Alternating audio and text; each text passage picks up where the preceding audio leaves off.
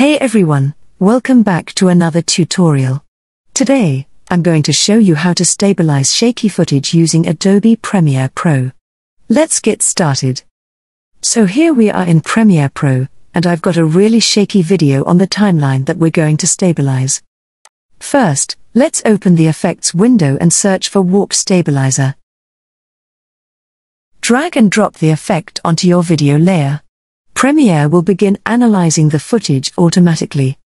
You can monitor the progress of the stabilization process here. Once it's done, Premiere will automatically stabilize the video for you.